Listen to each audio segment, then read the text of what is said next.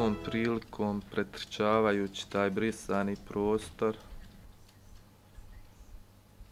poginulo je negdje oko 20 ljudi za kratak vremenski period jer smo bili izloženi ponovnom granatiranju, unakrsnom vatrom iz transportera i mitraljeskog toga oružja.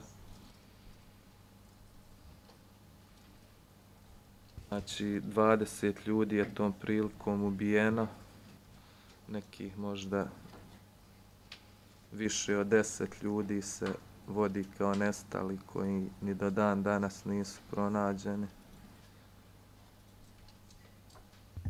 Ja sam se nalazio u grupi ljudi koja je ovaj se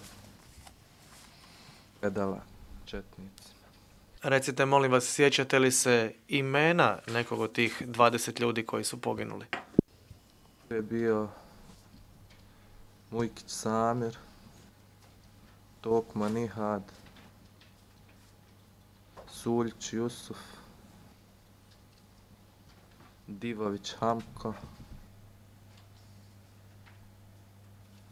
jedan od braće ovaj, Mešanović, čijeg se imena ne sjećam, pošto su dva brata bila, oba dva su poginula, braća blizanci, sad ne znam da li Nihad ili Neđad, Bećer Žiga, još dvojica ljudi sa prijezimenom Žiga, čijih se imena ne mogu da sjetim.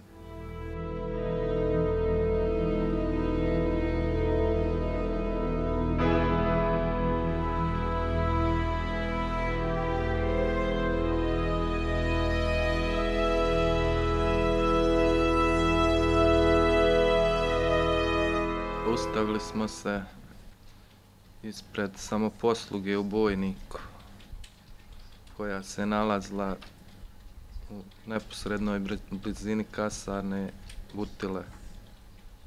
I šta se tamo desilo?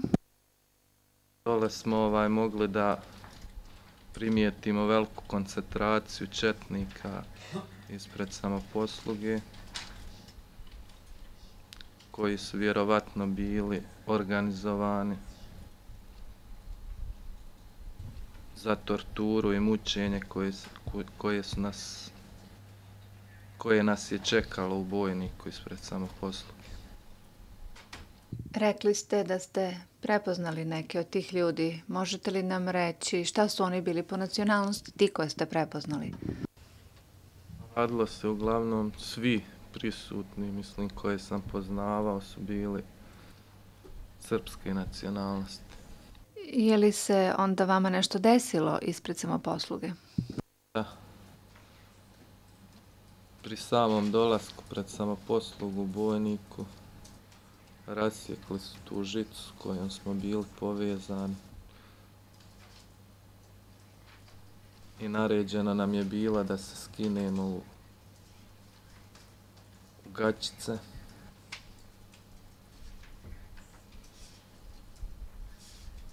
I da legnemo na plato ispred samoposluge koji je bio od kamena licem okrenutim prema zemlji raširenih nogu i ruku. Kažete da vam je bilo naređeno da se skinete u gačice. A šta je bilo sa cipelama? Jeste to i dalje imali na obuveno? Morali smo sve sem gačica da skinem. I šta vam se onda desilo? Započela jedna ova gnusna, jedna tortura, jedna, jedno iživljavanje na, na nama zarobljenim. Dobijali smo udarce puškama, željeznim cijevama, bejsbol palicama, policijskim palicama, udarali su nas flašama u glavu.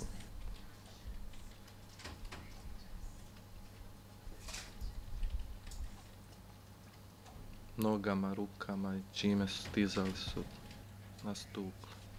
Je li se onda nešto desilo zbog čega je sve ovo privedeno kraju? Znam tačno koliko je prošlo, možda sat, dva, koliko je ta tortura ovaj, trajala. došao je zeleni vojni kombi iz pravca Dobroševića, ne znam tačno odakle je došao, nisam mogao da znam. Iz njega su izašli neki ljudi koji su rekli da treba da nas vode u Rajlovac.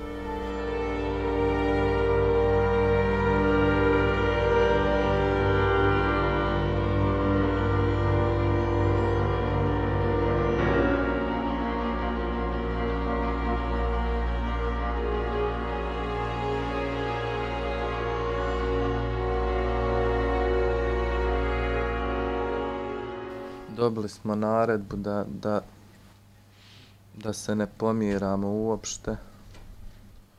Otvorili su prednja vrata, izašla je ta njihova pratnja, vozač autobusa i nakon minut ili dva, ne znam tačno koliko, odjeknula jedna razorna eksplozija, tako da da nisam čuo jedan izvjesan period, jedna, druga, treća eksplozija. To su bile projektili iz ručnih bacača, da li zolja, da li ručni raketni bacača, ne mogu da ocijenim. Kada su ispali ta tri projektila, kroz razbijena ta stakla su počeli ubacivati ove ručne bombe, nekih možda desetak bombi uz pješadijsko to dejstvovanje oružja. Nisam imao predstave koliko dugo to traje, jesam li uopšte živ, na sve strane su letjeli. Nisam u tom momentu mogao da ocijenim šta komadi tijela, geleri, meci.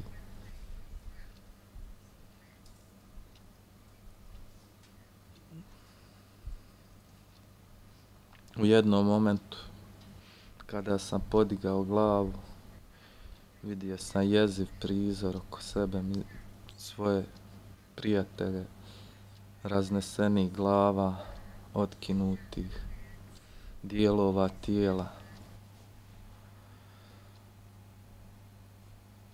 Po meni je krv pila komadi, kose komadi, lubanja. U tom momentu sam u predjelu leđa osjetio strahovit bol pošto je pucnjava još trajala. Bio sam i ja pogođen tada vidio sam još par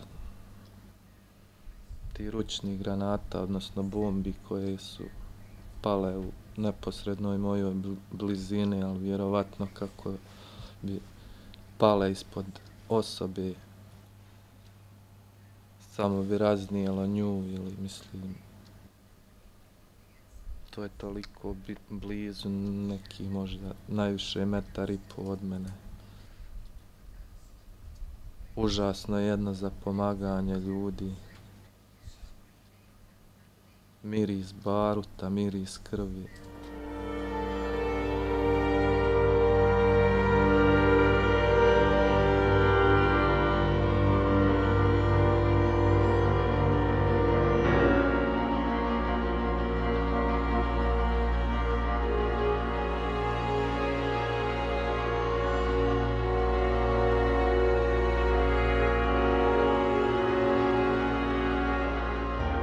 Koliko postoji drugih preživelih, koliko je vama poznato? Stoji još sedam. Ukupno osam nas je znači, preživjelo od brojke od 56 zatičenika logora hangari u Rajlovcu. Znači 48 je ubijenih. Da li imate nekih trajnih posljedica koje su nastupile usled povreda tokom ovog incidenta? Ja mislim, ova, Dugo sam bio nepokretan, devet mjeseci, nisam mogao ova nikako da hoda. Pogođen sam i u nogu i u kičmu. Radno sam nesposoban i stopostotni invalid.